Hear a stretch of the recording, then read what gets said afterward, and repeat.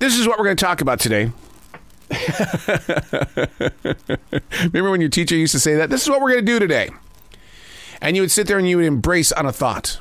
All I want to say is that creativity is an addiction. If you could just look at it through those eyes, I think you're going to better understand what happens to you in the middle of the night and, and why people do what they do with you at your place of business because you've got something that they need that's going to make them money and, and you've got to learn how to tame down your inner monster. Unplug because we will always say yes to creativity, totally uncut because we all make mistakes. So turn it into a tool. This is Arroe Unplugged. Well, there you are. I hope you're doing well. What what day is it where you are? I always have to ask that because I am so blown away at how podcasting is not something that happens in the now. You may record it right now, but it's amazing how seven or eight years will go by and people discover it. Now, where I presently stand is is February seventh, two thousand twenty-two. Where are you? What's it like? Are you writing it down? I want to read your writing. I want to I want to see what your life is like through this evolution of change and challenge. Because here we are. Not always an easy task. We're always just trying to put the right words in place and then we race off to a creative destination. What you do, what I do, it's not like any other job.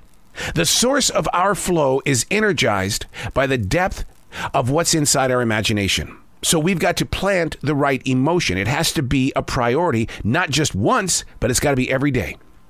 Which is why I keep a defrag journal, but I don't use that defrag journal in the morning because there's there's so much negative energy in the defrag journal that I I don't want my mental floor with all the dust and stuff like that on it to become mud patties.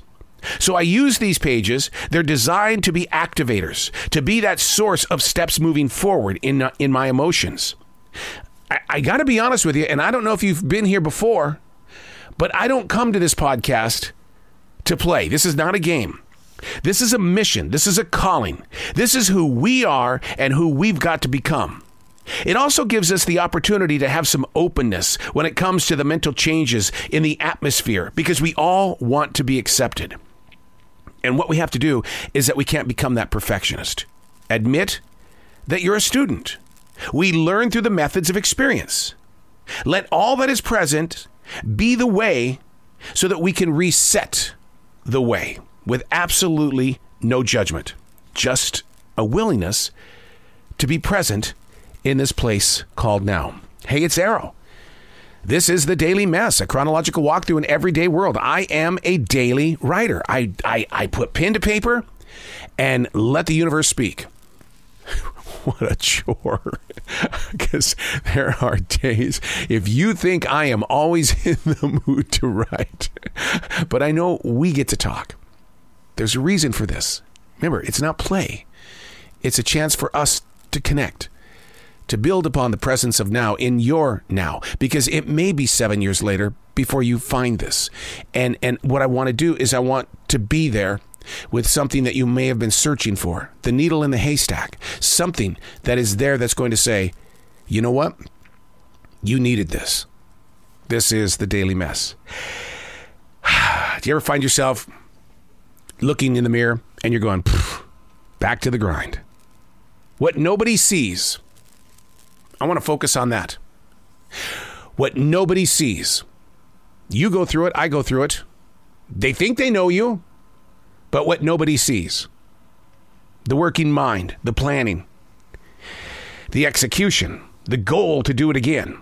And if it should break, you make the move to keep from walking away. Nobody sees it. Even while looking into our eyes, they may see that grind, but nobody sees it. What it really takes to keep your engine moving. Knowing what's in store so we can explore to put the value of creative energy ahead of all things. What nobody sees, they don't see it. The inner battle with who I am going to be. See how I said that? Who I am going to be. I want you to say that. This is who I am going to be. It's not always a choice, it's more of a mopping up of the messes. I mean, a thought can do so much to a moment. It can challenge it, it can create an entire new evolution for the moment. That's all we own is the moment. And here we are. and nobody sees it. The struggle to be normal.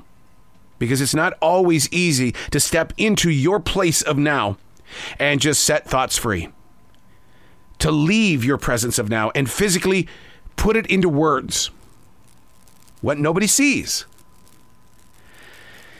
It's your evolution. What nobody sees. Are there times you want people to see it? And so many times when we do, their reaction is, eh. I remember back maybe 2002 on an album that I, I put together. The album was called So They Think I'm Weird, so I proved it. I, I wrote a song for my wife of 29 years. I was so moved by the creation of the lyrics, which became the music, which became the harmony, which became the mix down, which, which, which became wow in my heart. And then when I shared it with her, what nobody sees, what nobody sees, she goes, What's it all about? I, I, I don't get it. And as a creative mind, you go, Oh, okay, okay. And, and sure, I was absolutely hurt. And I bet if I go back to 2002 in my daily writing, I bet I speak not just one day, but several days about how she didn't see it, what nobody sees. So then, how do you move through something like this? How do you build up your confidence and your courage to continue growing as a creative person or just a regular person when nobody sees it? Doesn't matter. You see it, you feel it, you experience it. People always ask me, man, how do you talk to all of those famous people and, and, and, keep it together and don't let it go to your head? What nobody sees. I get the moment to write out the questions, to do the show prep, to land, first of all, the interview. And, and then and then to have the physical conversation and then to produce it and put it on the internet what nobody sees so when people say my God, you're talking to Ted Nugent. Yeah. Why doesn't it go to your head? What nobody sees. It's about a conversation. And in that conversation, you just hope that there's a connection. What nobody sees. I'm Arroe, and that's the Daily Mess.